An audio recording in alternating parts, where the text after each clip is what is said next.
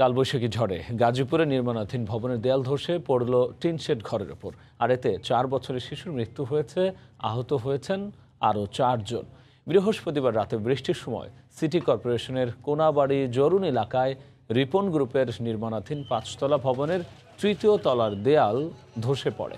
দেয়ালটি ভবনের পাশের মোহাম্মদ বাদশু খানের টিনশেড বাড়ির ওপর পড়লে আঠারোটি রুমের ক্ষয়ক্ষতি হয়। এ সময় ধসে পড়া দেয়ালের নিচ থেকে পাঁচজনকে জীবিত উদ্ধার করা হয়। তাদেরকে কোনাবাড়ি পপুলার হাসপাতালে ভর্তি করা হলে চার বছরের শিশু মুশফিককে মৃত ঘোষণা করেন চিকিৎসক। গুরুতর আহত বাকি চারজনকে ঢাকার পঙ্গু হাসপাতালে নেওয়া হয়েছে।